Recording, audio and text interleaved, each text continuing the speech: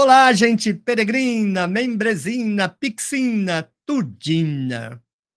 Um vídeo que deu bastante trabalho para planejar e executar.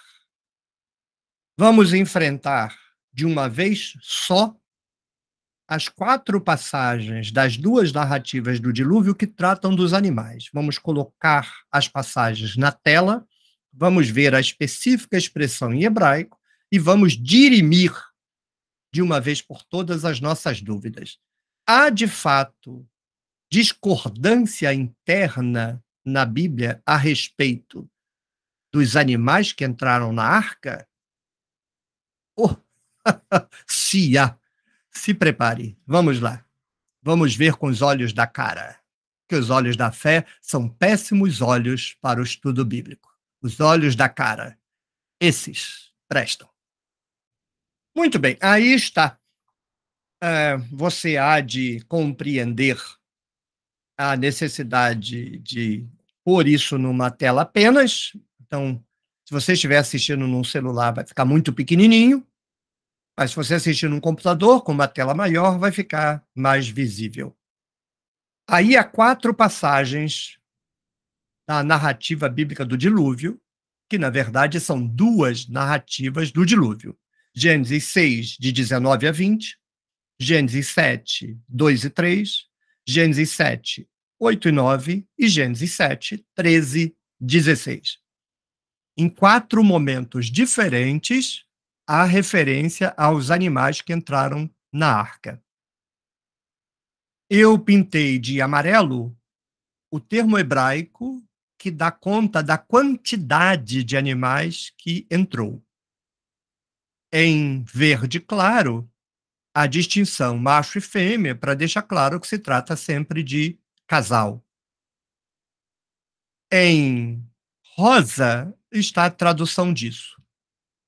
Então vamos lá. Ah, Gênesis 6, 19 e 20. Pedaço do texto. Dois de cada entrarão na arca. Dois de cada entrarão contigo para viver. Muito bem, essa palavra dois, Shenaim, dois. Vejam, Shenaim na primeira linha, em amarelo, Shenaim na segunda linha, em amarelo. Literalmente, dois dois de cada. Mas no final da linha está lá, ó, Zakar u Nekevá, macho e fêmea. Então são dois, um macho, uma fêmea. Então está ali, dois, dois animais, mas um é macho, outro é fêmea, então um casal. Então no texto original de Elohim, a designação era de que um casal, um macho e uma fêmea de cada animal entrariam na arca. Anote isso. Segunda seção do texto, Gênesis 7, 2, 3. De todo animal puro tomarás para ti sete, sete. Homem, o homem e a mulher dele. E de todo animal que não é puro, Dois, o homem e a mulher dele. Também da ave dos céus, sete e sete, macho e fêmea. Bem, aí já mudou tudo. Mudou tudo. Primeiro, que preste atenção, não é Shanaim. Shanaim é dois. E quando é dois, aparece só Shanaim. Então, dois. Mas aí, não, além de não ser dois, de ser sete, Shivya. Repete, Shivya, Shivya. Sete, sete. Ou seja, 14. Sete e sete. O homem e a mulher dele, ou seja, sete machos e sete fêmeas. Então, num texto, fala que é um casal, dois bichinhos. O outro texto diz que são 14 14 bichinhos, sete casais de animais puros. É o texto original de Yahvé. Mas faz uma ressalva para os animais que não são puros. Shnaim. Não repete. Só Shnaim. Dois. O homem e a mulher dele. Então, dois. Dois animais. Preste atenção. Preste atenção. Se no verso 2 tivesse escrito Shiviá, entrariam sete animais. Aí, como é casal, é o quê? Três homens e quatro machos? Quatro fêmeas? Não, não é chiviar, não são sete. É chiviar, chiviar. Sete, sete. Quatorze. Sete machos, sete fêmeas.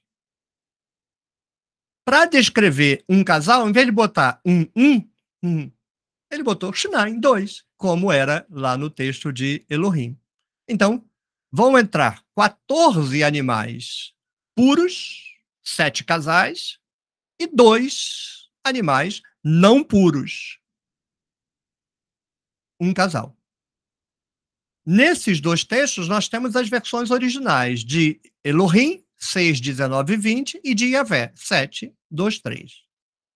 Agora vamos para Gênesis 7, 8, 9. De todo animal puro e de todo animal que não é puro, e de toda ave e de tudo que rasteja sobre o solo, Shnaim, Shnaim. Dois, dois. Entraram com Noé na arca, macho e fêmea. Bem, eh, eu botei Elohim original, mas isso não pode ser Elohim original. Ou é, é o Iavé original, depois eu preciso corrigir isso. Ou é o Iavé original, ou é o redator. Por quê? Primeiro, no texto de Iavé, falava que era animal puro e impuro. Mas era sete animal puro e um casal de animal impuro. Sete animal puro e um sete casais de animais puros e um casal de animal impuro. Aí está dizendo que são animais puros e impuros, mas são dois casais, quatro animais. Foi para Conchinchina a coerência da narrativa, porque esse texto não concorda nem com o texto de Elohim, Gênesis 6, 19 e 20, nem com o de Yahvé, Gênesis 7, 2, 3. Aí é o redator pode ter um trecho que seja do original de Yahvé, não Elohim. Aí em 789 eu botei Elohim, mas está errado, é Yahvé. Mas tudo isso pode ser do redator. E o flagrante, que é para mim é do redator, porque você veja lá em 723, se você olhar o, o, o sexo do animal, é macho, é homem e mulher. Aí já está macho e fêmea. E a quantidade tá Shenaim, Shenaim. Deveria ser Shiviá, Shiviá. E tá Shenaim, Shenaim. Já não bate mais. É o redator deixando, não é um casal, mas também não vai ser sete casais, serão dois casais. E por que, que ele bota dois casais e não um casal? Porque no final vai ter sacrifício. Se for um casal só, quando sacrificar um animal, o casal acaba. Como é que vai ter filho? Então, o redator decide botar dois. Quatro animais. Então, mete quatro animais. Na hora de fazer o sacrifício, vai ficar três animais. Um macho e duas fêmeas, ou dois machos e uma fêmea, de qualquer jeito. Então, ele não estraga o final da narrativa, já que ele sabe que vai ter um sacrifício. Finalmente, o último pedaço, Gênesis 7, 13, 16.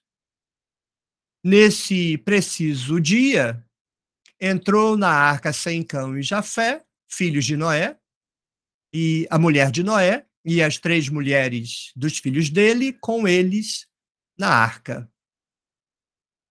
Eles e todo toda a fera segundo as espécies dela, e todos os animais segundo as espécies deles, e todo o que rasteja sobre a terra, segundo as espécies dele, toda ave segundo a espécie delas, e todo pássaro de toda asa.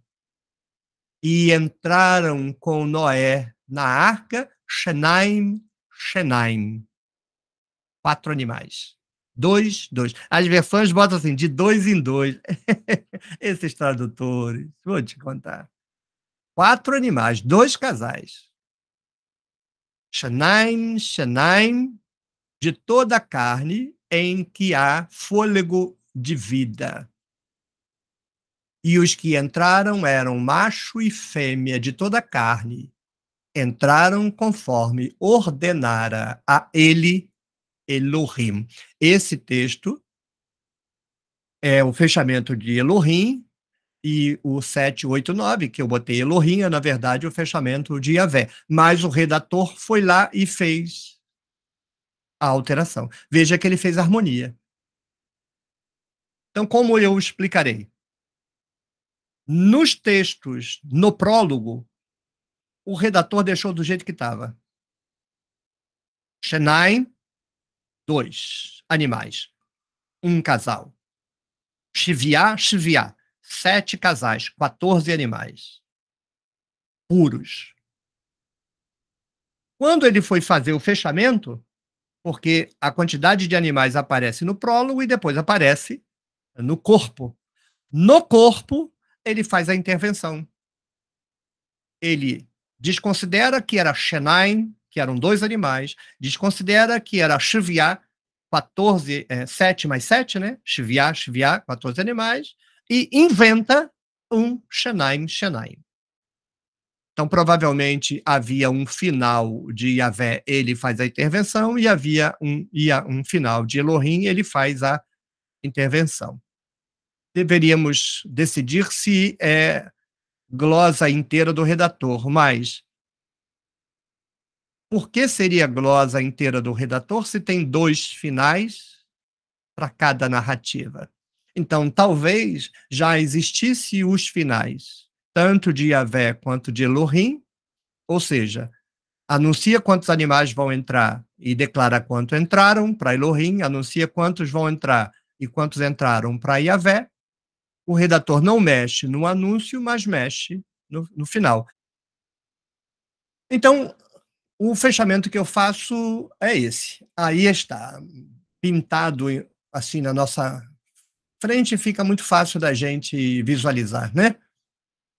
Era um casal, no outro texto são sete casais de animais puros e um casal de animal impuro, e o redator fez, no final das contas, serem quatro animais, dois casais, dois casais, não se discute mais isso dois casais de animal puro, dois casais de animais impuros, pronto, está resolvido a conversa. Muito bem, está resolvida a conversa.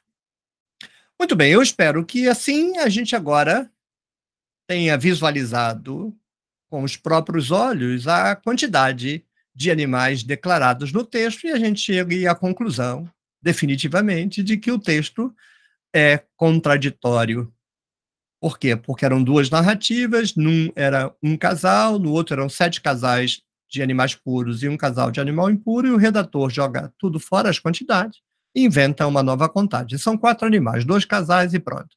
E ele precisa fazer com que sejam dois casais, porque um animal será sacrificado no final. Por isso, na narrativa de Evé, ele botou sete. Ele considerou que sete era um exagero, bota dois casais e pronto. São duas narrativas, costuradas. O redator não joga nada fora, mas ele depois faz as coisas serem do jeito que ele, narrador, decidir. Quem manda é o, redator final. O texto do escritor é mantido, mas o sentido vai para o ralo. Parece até teólogo estudando a Bíblia. Se você gostou, clique no joinha, deixe o seu comentário compartilhe o vídeo com seus contatos, torne-se membro do clube de membros da tenda do Necromante. Tchau, tchau. Até o próximo vídeo.